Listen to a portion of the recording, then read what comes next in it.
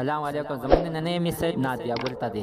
ځکه چې نادیا ګل په دې وجه کې هم په لیو ویډیوګانو باندې راځي او خلکو ته وایي چې تاسو ما ته د غانو پرمایشو کې نه زه به تاسو ته غاني وایم عزتمن د غانو په بدله کې یې نه خلکو ته سوې عزتمن د دې خاصه نمک کې زه ته دا یادګینو په تاسو کو چر زمون په دې چینل کې نوی حتما د زمون دا چینل سبسکرایب کړئ خو کې وسه د ټاله نشان و چې خای یو نوی معلوماتي ویډیو تاسو ته په اسانۍ باندې دروسي عزتمنو نادیا ګردان ته په دې ویډیو باندې راغلی و او خپل مینوال ته ویلي ان تاسو د مانه څه غوښتنو کې زب تاسو ته ناغه وایم په دې کې یو کس راغل او ورته ویلي چې یعنی ته مونږ ته د خپل دا د لاندینې کمات دی وخایا نو نادیا ګردان ته په جواب کې چې به شرم تعالی شرم نه درځي چې تمانه دغه شانته غلطه پوښتنې کوي نو هغه ورته په جواب کې ویلي ورته ویل چې دا روژه ده په روژه کې نه څوک د چانه د غانو غوښتنه نه کوي بار بار دغه وایي چې مانه یې نه څه غوښتنه وکړه چې زه تاسو ته په هغه دغه په هغه انداز باندې زه تاسو ته یې غانه وی یا د تاسو خسته غوته आवाज ته وباسم عزتمن زما په نسبت چې دې کس ولګي خو جواب ورته ورکړ دې ځکه چې هغه به سبب بل چاته دغه شانتي نو وی چې تاسو د مانه سو غړ او زه تاسو ته وای